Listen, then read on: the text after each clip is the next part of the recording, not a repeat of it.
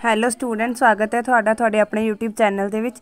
ਅੱਜ ਆਪਾਂ ਇਸ ਵੀਡੀਓ ਦੇ ਅੰਦਰ ਕਲਾਸ 8ਵੀਂ ਵਾਲਿਆਂ ਦਾ ਜਿਹੜਾ ਕਿ ਸਿਹਤ ਅਤੇ ਸਰੀਰਕ ਸਿੱਖਿਆ ਦਾ ਪੇਪਰ ਹੈ, ਆਪਾਂ ਉਹ ਦੇਖਾਂਗੇ ਉਸ ਦੇ ਕਿੰਨੇ ਮਾਰਕਸ ਨੇ ਤੇ ਕਿਹੜੇ ਕੁਐਸਚਨ ਇੰਪੋਰਟੈਂਟ ਨੇ, ਉਹ ਆਪਾਂ ਸਾਰੇ ਦੇਖਾਂਗੇ। ਵੀਡੀਓ ਨੂੰ ਐਂਡ ਤੱਕ ਜ਼ਰੂਰ ਦੇਖਿਓ।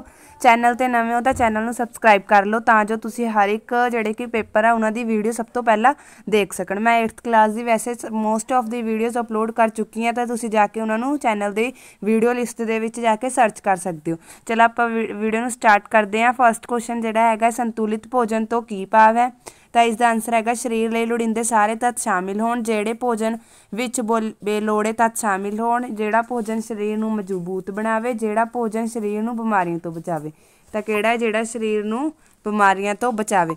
ਨੈਕਸਟ ਭੋਜਨ ਸਾਡੇ ਸਰੀਰ ਵਿੱਚ ਕੀ ਕਰਦਾ ਹੈ? ਸਰੀਰ ਨੂੰ ਊਰਜਾ ਪ੍ਰਦਾਨ ਕਰਦਾ ਹੈ, ਭੋਜਨ ਸਰੀਰ ਦਾ ਵਾਧਾ ਰੋਕਦਾ ਹੈ, ਭੋਜਨ ਸਰੀਰ ਵਿੱਚ ਬਿਮਾਰੀਆਂ ਪੈਦਾ ਕਰਦਾ ਹੈ, ਉਪਰੋਕਤ ਸਾਰੇ। ਤਾਂ ਭੋਜਨ ਸਾਡੇ ਸਰੀਰ ਵਿੱਚ ਕੀ ਕਰਦਾ ਹੈ? ਬਿਮਾਰੀ ਊਰਜਾ ਪ੍ਰਦਾਨ ਕਰਦਾ ਹੈ। ਪ੍ਰੋਟੀਨ ਭੋਜਨ ਦੇ ਕਿਹੜੇ ਕਿਹੜੇ ਤੱਤਾਂ ਵਿੱਚ ਪਾਇਆ ਜਾਂਦਾ ਹੈ? ਪ੍ਰੋਟੀਨ ਕਿਹਦੇ ਕਿਹਦੇ ਵਿੱਚ ਪਾਇਆ ਜਾਂਦਾ? ਦਾਲਾਂ, ਦੁੱਧ, ਮੀਟ, ਅਨਾਜ, ਸੁੱਕੇ ਮੇਵੇ, ਖਜੂਰ, ਅਮਰੂਦ, ਦਹੀਂ, ਪਨੀਰ, ਆਲੂ, ਮੱਛੀ, ਗੁੜ, ਅੰਬ, ਕੇਲਾ। ਤਾਂ ਦਾਲਾਂ, ਦੁੱਧ, ਮੀਟ, ਅਨਾਜ, ਸੁੱਕੇ ਮੇਵਿਆਂ ਦੇ ਵਿੱਚ ਪ੍ਰੋਟੀਨ ਪਾਇਆ ਜਾਂਦਾ ਹੈ। ਵਿਟਾਮਿਨ ਕਿੰਨੇ ਪ੍ਰਕਾਰ ਦੇ ਹੁੰਦੇ ਹਨ? ਵਿਟਾਮਿਨ 6 ਪ੍ਰਕਾਰ ਦੇ ਹੁੰਦੇ ਨੇ। A, B, C E D E F ਤੇ K, F ਸ਼ਾਇਦ ਨਹੀਂ ਹੁੰਦਾ E ਤੋਂ ਬਾਅਦ K ਹੁੰਦਾ ਹੈ, ਠੀਕ ਹੈ? 1 2 3 4 5 6 7 ਹੁੰਦੇ ਸੌਰੀ ਠੀਕ ਹੈ? ਆਪਾਂ 6 ਨੂੰ ਨਹੀਂ ਲਗਾ ਕੇ ਆਵਾਂਗੇ। ਨੈਕਸਟ ਖਣਿਜ ਪਦਾਰਥ ਦਾ ਸਾਡੇ ਸਰੀਰ ਵਿੱਚ ਕੀ ਕੰਮ ਹੈ? ਇਹ ਸਰੀਰ ਨੂੰ ਸੁਸਤ ਬਣਾਉਂਦਾ ਹੈ, ਸਾਡੇ ਭੋਜਨ ਨੂੰ ਸਵਾਦਿਸ਼ਟ ਬਣਾਉਂਦਾ ਹੈ, ਸਰੀਰ ਨੂੰ ਮੋਟਾ ਕਰਦਾ ਹੈ, ਹੱਡੀਆਂ ਦੰਦ ਮਜ਼ਬੂਤ ਬਣਾਉਂਦਾ ਤਾਂ ਕਾਮਨ ਜੋ ਗੱਲ ਹੈ, ਹੱਡੀਆਂ ਤੇ ਦੰਦਾਂ ਨੂੰ ਮਜ਼ਬੂਤ ਬਣਾਉਂਦਾ ਹੈ। ਨੈਕਸਟ ਮੁੰਡਲੀ ਸਹਾਇਤਾ ਦੇ ਕੀ ਉਦੇਸ਼ ਹੁੰਦੇ ਨੇ? ਜਿਹੜੇ ਮੁੰਡਲੀ ਸਹਾਇਤਾ ਤੇ ਉਦੇਸ਼ ਹੁੰਦੇ ਉਹ ਪ੍ਰੋਕਤ ਸਾਰੇ ਹੁੰਦੇ ਜ਼ਿੰਦਗੀ ਵੀ ਬਚਾਉਂਦਾ ਹੈ, ਸੁਧਾਰ ਲਿਆਂਦਾ ਹੈ, ਹਸਪਤਾਲ ਤੇ ਪਹਿਲਾ ਜਿਹੜਾ ਦਿੱਤਾ ਜਾਂਦਾ ਹੈ। ਸੀਪੀਆਰ ਫੁੱਲ ਫਾਰਮ ਕੀ ਹੁੰਦੀ ਹੈ? ਸਿਵਲ ਪ੍ਰੋਕਿਓਰ ਰੂਲਸ ਕੰਡੀਸ਼ਨਰ ਪੇ ਪ੍ਰੀਮੇਮੈਂਟ ਰੇਟ ਸੈਂਟਰਲ ਪਾਈਵਟ ਰੇਂਜ ਜਾਂ ਕਾਰਡੀਓ ਪਲੂਮਨਰੀ ਰੈਸਕਿਊਕੇਸ਼ਨ ਤੇ ਆ ਵਾਲਾ ਕਾਰਡੀਓ ਵਾਲਾ ਹੈ, ਇਸ। ਠੀਕ ਹੈ ਸੀਪੀਆਰ ਕਦੋਂ ਕਰਨੀ ਚਾਹੀਦੀ ਹੈ? ਜਦੋਂ ਰੋਗੀ ਦਾ ਦਿਲ ਦੀ ਧੜਕਣ ਬੰਦ ਹੋ ਜਾਵੇ ਮੂੰਹ ਵਿੱਚੋਂ ਖੂਨ ਆ ਰਿਹਾ ਹੋਵੇ, ਰੋਗੀ ਉਲਟੀ ਨਾ ਹੋਵੇ, ਤਾਂ ਰੋਗੀ ਦੀ ਧੜਕਣ ਬੰਦ ਹੋ ਜਾਵੇ, ਉਦੋਂ ਸੀਪੀਆਰ ਕਰਨਾ ਚਾਹੀਦਾ ਹੈ। ਵੈਸੇ ਸਾਹ ਦੇਣ ਦੇ ਜਿਹੜਾ ਤਰੀਕਾ ਹੁੰਦਾ ਉਸ ਨੂੰ ਕਿਹਾ ਜਾਂਦਾ ਹੈ, ਪਰ ਜੇਕਰ ਤੁਹਾਨੂੰ ਨਾ ਲੱਗੇ ਤਾਂ ਇਹਨਾਂ ਵਿੱਚੋਂ ਕੋਈ ਵੀ ਨਹੀਂ ਲਗਾ ਸਕਦੇ ਹੋ ਤੁਸੀਂ।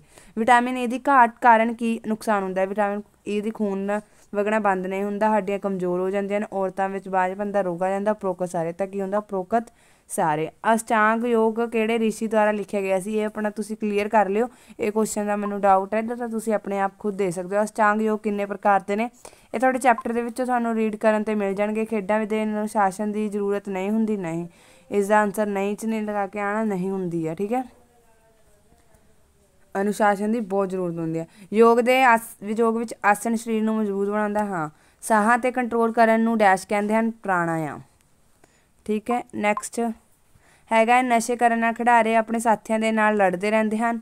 ਤਾਂ ਇਸ ਦੇ ਵਿੱਚ ਅਸੀਂ ਨਸ਼ੇ ਕਰਨ ਨਾਲ ਲੜਦੇ ਹੀ ਰਹਿੰਦੇ ਹਨ ਨਸ਼ੇ ਕਰਨ ਨਾਲ ਸਾਡੇ ਸਰੀਰ ਅੰਦਰ ਖੋਖਲਾ ਹੋ ਜਾਂਦਾ, ਹਾਂ। ਵਿਟਾਮਿਨ ਸੀ ਦੀ ਘਾਟ ਦੇ ਦੋ ਨੁਕਸਾਨ ਹੁੰਦੇ ਆ, ਬੇਰੀ ਬੇਰੀ ਦਾ ਰੋਗ ਹੋ ਜਾਂਦਾ, ਅੰਧਰਾਤਾ ਹੋ ਜਾਂਦਾ, ਯੋਗ ਦਾ ਅਰਥ ਕੀ ਹੁੰਦਾ ਹੈ?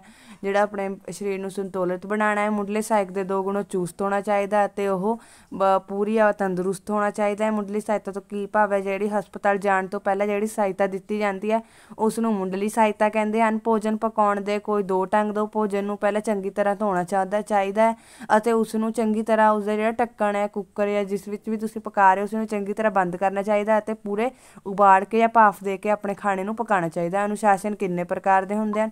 ਨਾਮ ਲਿਖਣੇ ਆ, ਇੱਕ ਹੁੰਦਾ ਹੈ ਸਵੈ ਅਨੁਸ਼ਾਸਨ, ਇੱਕ ਦੂਸਰਾ ਹੁੰਦਾ ਉਹ ਤੁਸੀਂ ਆਪਣਾ ਕਲੀਅਰ ਕਰ ਲਿਓ ਬੁੱਕ ਦੇ ਵਿੱਚੋਂ। ਅੰਦਰੂਨੀ ਅਤੇ ਬਾਹਰੀ ਅਨੁਸ਼ਾਸਨ ਦੋ ਤਰ੍ਹਾਂ ਦੇ ਹੁੰਦੇ ਨੇ। ਇਹ ਫਿਰ ਅੱਛਾ ਐਵੇਂ ਲਿਖਿਆ ਹੈ ਉਹ, ਅਨੁਸ਼ਾਸਨ ਦੋ ਪ੍ਰਕਾਰ ਦੇ ਹੁੰਦੇ ਨੇ, ਅੰਦਰੂਨੀ ਅਤੇ ਇੱਕ ਬਾਹਰੀ। ਅੰਦਰੂਨੀ ਜਿਹੜਾ ਆਪਣੇ ਖੁਦ ਤੋਂ ਆਂਦਾ ਹੈ, ਬਾਹਰੀ ਜਿਵੇਂ ਕਿ ਸਾਨੂੰ ਪੁਲਿਸ 'ਚ ਸਿਖਾਇਆ ਜਾਂਦਾ, ਫੌਜ 'ਚ ਦਿਖਾਇਆ ਜਾਂਦਾ, ਠੀਕ ਹੈ? ਇਹਦਾ ਮਤਲਬ ਇਹ ਸੀਗਾ ਅਨੁਸ਼ਾਸਨ ਦੋ ਪ੍ਰਕਾਰ, ਅੰਦਰੂਨੀ, ਬਾਹਰੀ। ਅੰਦਰੂਨੀ ਜਿਹੜਾ ਖੁਦ ਤੋਂ ਸਾਨੂੰ ਆਂਦਾ ਆਪਣੇ ਆਪ ਨੂੰ ਹੁੰਦਾ ਹੈ ਕਿ ਹਾਂ, ਇੱਥੇ ਸਿੱਧੇ ਬੈਠਣਾ, ਇੱਥੇ ਉਦਾਂ ਬੈਠਣਾ ਠੀਕ ਆ? ਬਾਹਰੀ ਜਿਹੜਾ ਸਾਨੂੰ ਦਿੱਤਾ ਜਾਂਦਾ ਸਿਖਾਇਆ ਜਾਂਦਾ ਭੋਜਨ ਖਾਣ ਤੋਂ ਪਹਿਲਾਂ ਭੋਜਨ ਖਾਣ ਦੇ ਸਮੇਂ, ਭੋਜਨ ਖਾਣ ਤੋਂ ਬਾਅਦ ਸਾਨੂੰ ਕਿਹੜੀ ਗੱਲਾਂ ਦਾ ਧਿਆਨ ਰੱਖਣਾ ਚਾਹੀਦਾ ਹੱਥ ਧੋਣ ਦਾ ਬੋਲਣਾ ਨਹੀਂ ਚਾਹੀਦਾ ਤੇ ਡਿਸਪਲਿਨ 'ਚ ਬੈਠਣਾ ਚਾਹੀਦਾ ਹੈ ਤੇ ਚੰਗੀ ਤਰ੍ਹਾਂ ਚਬਾ ਕੇ ਖਾਣਾ ਚਾਹੀਦਾ ਠੀਕ ਆ? ਅਸੀਂ ਆਪਣੇ ਬਚਪਨ ਵਿੱਚ ਅਨੁਸ਼ਾਸਨ ਕਿਵੇਂ ਸਿੱਖਦੇ ਆ ਅਸੀਂ ਆਪਣੇ ਮਾਤਾ ਪਿਤਾ ਤੋਂ ਸਿੱਖਦੇ ਆ ਅਧਿਆਪਕਾਂ ਤੋਂ ਸਿੱਖਦੇ ਆ ਅਸੀਂ ਕੁਝ ਖੇਡਾਂ ਕਰਨ ਨਾਲ ਸਿੱਖਦੇ ਆ ਅਸੀਂ ਐਕਟੀਵਿਟੀ 'ਚ ਪਾਰਟ ਲੈ ਕੇ ਸਿੱਖਦੇ ਆ ਠੀਕ ਆ? ਯੋਗ ਦਾ ਕੀ ਮਹੱਤਵ ਹੈ? ਯੋਗ ਦਾ ਸਾਡੇ ਜੀਵਨ ਵਿੱਚ ਬਹੁਤ ਵੱਡਾ ਮਹੱਤਵ ਹੈ ਕਿਉਂਕਿ ਇਹ ਸਾਨੂੰ ਰੋਗਾਂ ਤੋਂ ਦੂਰ ਰੱਖਦਾ ਹੈ ਅਤੇ ਇਸ, ਅਸੀਂ ਇਸ ਨਾਲ ਆਪਣੇ ਸਰੀਰ ਉੱਤੇ ਕਾਬੂ ਪਾ ਸਕਦੇ ਹਾਂ, ਠੀਕ ਹੈ? ਅੱਗੇ ਅਸ਼ਟਾਂਗ ਯੋਗ ਦੇ 8 ਅੰਗਾਂ ਦੇ ਨਾਂ ਲਿਖਣੇ ਆ ਤੇ ਮੁੱਢਲੀ ਸਹਾਇਤਾ ਦੇ ਕੀ ਉਦੇਸ਼ ਹੁੰਦੇ ਹਨ ਉਹ ਵੀ ਲਿਖਣੇ ਨੇ। ਤਾਂ ਬੱਚਿਓ, ਇਹ ਤੁਹਾਡਾ ਪੇਪਰ ਸੀਗਾ ਤੇ ਚੈਨਲ ਤੇ ਨਵੇਂ ਹੋ, ਚੈਨਲ ਨੂੰ ਸਬਸਕ੍ਰਾਈਬ ਕਰ ਲਓ।